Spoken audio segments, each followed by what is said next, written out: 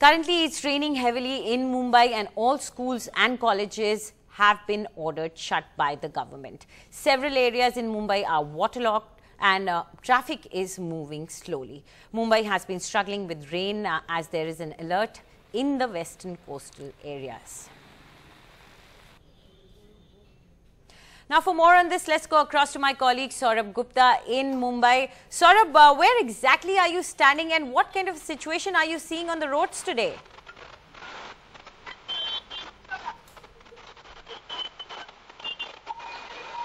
Well, I must tell you, though there is heavy waterlogging, the BMC, the police are out on the streets. In fact, right behind me, you can see Mumbai police uh, personnel uh, diverting the traffic to one lane because this is, of course, the Elphinstone Bridge, the approach to Elphinstone Bridge. This is anyways uh, a very high density traffic area, but obviously today being rains, uh, raining so heavily, uh, there are extra policemen on the street divert and guide traffic, and obviously traffic is moving slowly.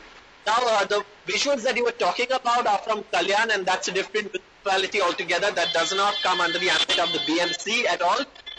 But uh, there too, you saw how, uh, you know, these potholes can be a risk. But here in Mumbai, uh, you know, not just, it's not just the BMC, but also, uh, you know, the top officers of the Central Railway and the Western Railway who are also out on uh, this, uh, you know, on the field to ensure that the trains run.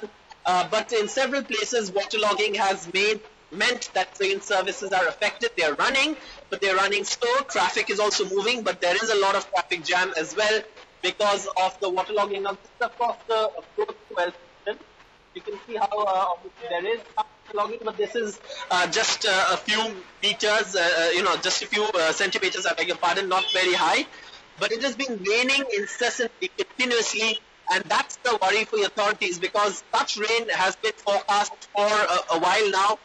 And if it continues to rain like this and if it coincides with the high tide, that spells doom for Mumbai because Mumbai is a coastal city that has lock gates. Drainage system is blocked by lock gates so that the seawater cannot enter into the city during a high tide. Obviously, uh, you know, uh, schools have been uh, shut. Uh, people have been advised not to travel unless absolutely necessary. But uh, you know, the situation is still it's bad, but it's under control. I wouldn't say it's absolutely out of control.